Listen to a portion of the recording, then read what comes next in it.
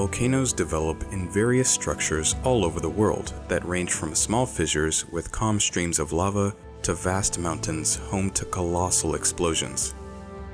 While I can't cover everything there is to know in one video, I hope to help visualize the absolutely massive scale of volcanoes.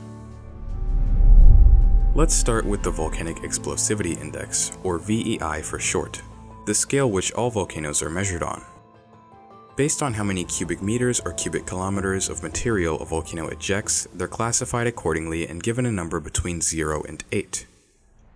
A volcano that would register as a VEI 0 would eject less than 1,000 cubic meters of material. These are all effusive or non-explosive eruptions. A VEI 1 will eject more than 1,000 cubic meters, but no more than 1 million cubic meters of material.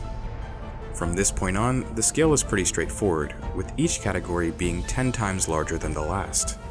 A VEI 2 will eject at least 1 million cubic kilometers of material. A 3 will eject at least 10 million. A 4 will eject at least 100 million. a 5 will eject 1 cubic kilometer. A 6 will eject 10 kilometers. A 7 will eject 100. And lastly, an 8 will eject at least 1000 cubic kilometers of material. We don't actually need a VEI 9 because if an eruption that large were to occur, we would all be dead. Volcanoes aren't just classified by their explosivity, but also their characteristics. The smallest and most gentle are referred to as Hawaiian eruptions. Volcanoes in this category don't have to be in Hawaii. They just get their name because Hawaii has the highest concentration of eruptions that fit these characteristics. Hawaiian eruptions are mostly effusive rather than explosive due to the lava's relatively low viscosity. This means lava flows are able to travel much farther, usually cooling and hardening on the outside while maintaining a molten interior. When lava reaches the sea, its reaction with salt water creates compounds such as hydrochloric acid, among other noxious gases. So, despite how captivating of a sight it is, bystanders are advised to keep their distance. The next largest category are Strombolian eruptions. These are the weakest explosive eruptions, which generally have thicker lava than Hawaiian eruptions, making the flow of lava shorter. Since explosive eruptions at this size aren't clouded by large amounts of dust and rock, Strombolian eruptions are some of the most visually impressive volcanoes. Gentle eruptions are caused by the increased thickness in lava, which allows a slight buildup in gas pressure. Only small amounts of gas build up before being released, so these volcanoes usually erupt in intervals ranging from just a few seconds to minutes apart. Even though Strombolian eruptions are small in comparison to other types of explosive volcanoes, they are capable of ejecting lava over 100 meters in the air. Above Strombolian eruptions are Vulcanian eruptions. They're similar in causation, however the eruptive columns of Vulcanian eruptions are much larger, meaning gas is trapped at a greater capacity and the release of pressure is much more violent. In addition, the vent of these volcanoes is capped, and the pressure needs to reach a certain threshold in order to break through. An eruption in this category can create a plume of smoke from 1 to upwards of 10 kilometers high, and is powerful enough to eject fragments of rock that can be several meters in diameter. Following an initially large explosion, after the cap has been opened, it's likely that several smaller eruptions will take place soon after. Peléan and Plinian eruptions are enormous volcanoes capable of creating a plume of smoke anywhere from 10 to greater than 40 kilometers high. If Vulcanian eruptions are on the scale of large hills and ridges, Peléan eruptions are on the scale of small mountains, and Plinian eruptions on large mountains. The force that makes these volcanoes so violent comes from the compression and decompression of gas within the magma chamber beneath the volcano's vent.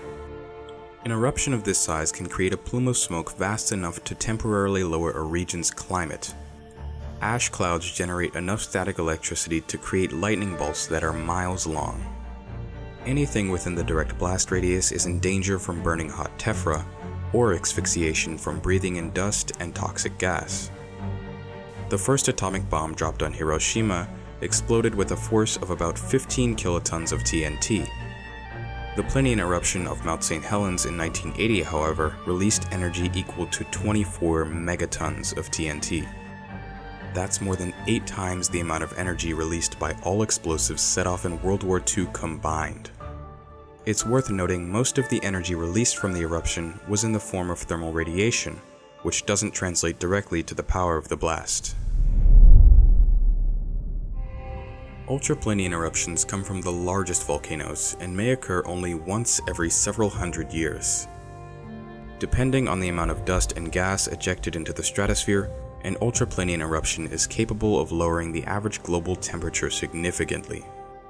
An eruption that's considered supervolcanic is an ultraplinian eruption that registers as an 8 on the Volcanic Explosivity Index. These eruptions are extremely rare and usually occur if there's a massive displacement in the Earth's crust, which can cause entire volcanic complexes to erupt.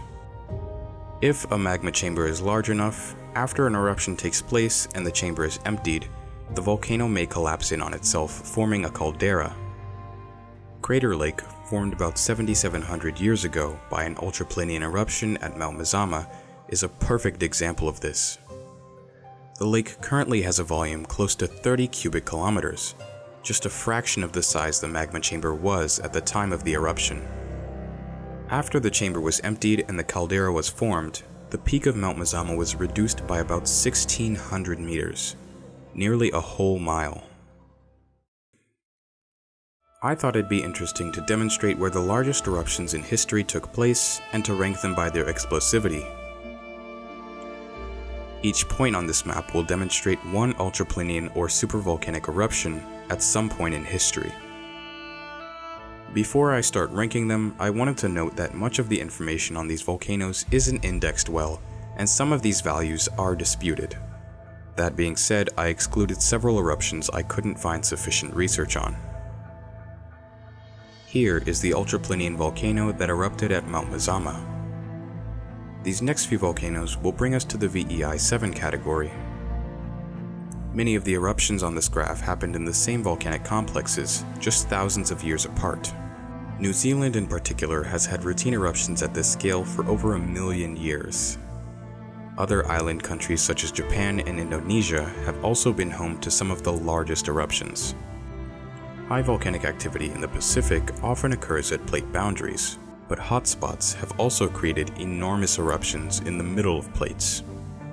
For example, the Midwest and Western regions in the United States have had an extremely high concentration of eruptions registering VEI 7 and 8. Beyond this point, eruptions register as VEI 8 and are considered supervolcanic. All Taupo volcanic zone eruptions occurred in North Island, New Zealand, Yellowstone Plateau eruptions occurred in Blacktail, Idaho, and the Kilgore and Huckleberry Ridge eruptions also took place in Idaho. About 30 million years ago, two massive supervolcanoes erupted in Yemen. Around the same time, there was a flare-up of eruptions in Utah and Nevada. Volcanoes from the Caliente Ignimbrite field took place only several thousand years apart, forming the largest group of super eruptions ever recorded.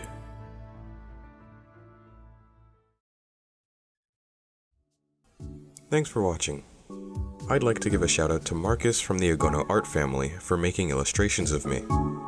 It was a great opportunity to work with him, and if you'd like to check out his work, a link to his YouTube channel will be in the description. If you'd like to follow me on other social media, I do have a Twitter, at meta underscore galactic, where I post about videos I'm making or plan to make.